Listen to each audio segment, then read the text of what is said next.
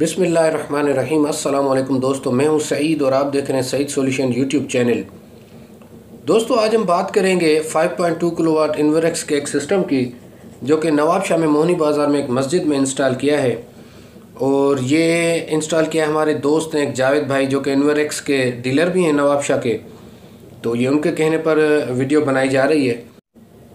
تو آج میں آپ کو بتاؤں گا کچھ اہم پوائنٹس، تاکہ اگر آپ سسٹم لگوانا چاہتے ہیں تو آپ کو کسی قسم کی پریشانی نہ ہو۔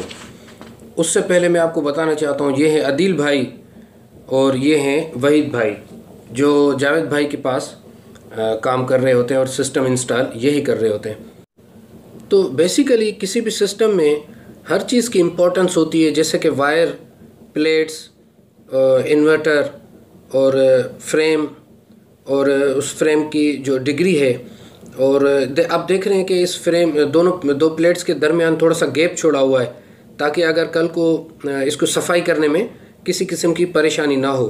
کیونکہ اگر صفائی آپ وقتاً فوقتاً کرتے رہیں گے تو ایفیشنسی پہ بہت زیادہ فرق پڑتا ہے۔ ایفیشنسی بڑھ جاتی ہے۔ اچھا آپ نے اس کے ساتھ یہ تھوڑی سی اپنی کیلکولیشن کر لینی ہے کہ آپ کا لوڈ کتنا ہے۔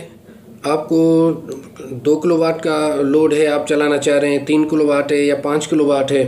اور اس کے علاوہ آپ نے جگہ کا تعین کرنا ہے کہ ڈسٹریبیوشن باکس کے قریب اگر انسٹال ہوگا انورٹر تو بہت زیادہ بہتر رہے گا اور بیٹری کے حوالے سے آپ نے تھوڑا سا دھیان میں رکھنا ہے کہ بیٹری آپ ایسی جگہ پہ لگائیں جہاں پہ کھلی ہوا ہو کیونکہ جب بیٹری چارج ہو رہی ہوتی ہے تو اس میں سے سلفرک ایسڈ بیٹری کے اندر بیسیکلی ڈلتا ہے اور وہ پھر اس کے فیومز نکل رہے ہوتے ہیں۔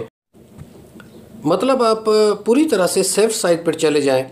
تو اس بیٹری کے حوالے سے ایک چھوٹی سی ویڈیو میں بہت جلد اپلوڈ کروں گا، تو اس میں آپ کی رہنمائی اچھی ہو جائے گی۔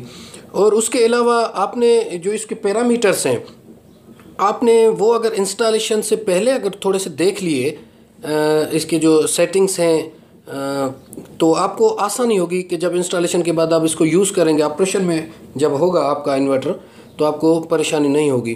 تو اس پیرامیٹر اور سیٹنگ کے حوالے سے بھی ہنڈریڈ پرسنٹ اس کی جو سیٹنگس ہیں ان کے، ان پہ بھی میں ویڈیو ایک بہت جلدی اپلوڈ کروں گا، آپ کے سامنے پیش کروں گا تاکہ آپ کو زیادہ سے زیادہ رہنمائی حاصل ہو سکے۔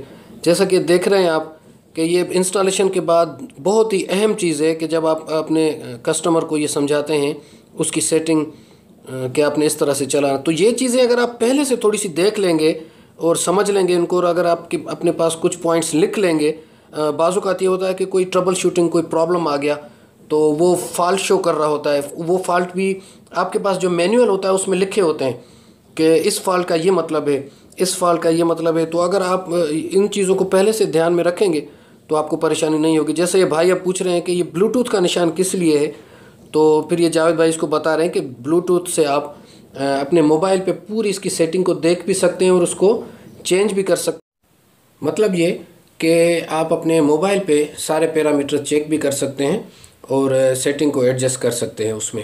اچھا اس کے علاوہ آپ نے جو ایک چیز کا دھیان رکھنا ہے کہ جب بھی آپ سسٹم انسٹال کرائیں تو آپ نے جو ان کی ایم پی پی ٹی جو رینج ہوتی ہے، وہ ہائی وولٹیج والا آپ نے سسٹم لگوانا ہے۔ ہائی وولٹیج والا، اس میں یہ فائدہ ہے کہ آپ کے جو ہائی وولٹیج والے سسٹم میں لائن لاسز بالکل نہیں ہیں۔ کیونکہ جب وولٹ بڑھ جائیں گے تو آپ کے ایمپیئر کم ہو جائیں گے۔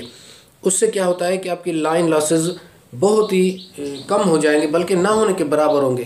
تو پی وی جتنا آپ کو دے گا کرنٹ وہی آپ کو کنورٹ کر کے اور سسٹم آپ کو پرووائڈ کرے گا۔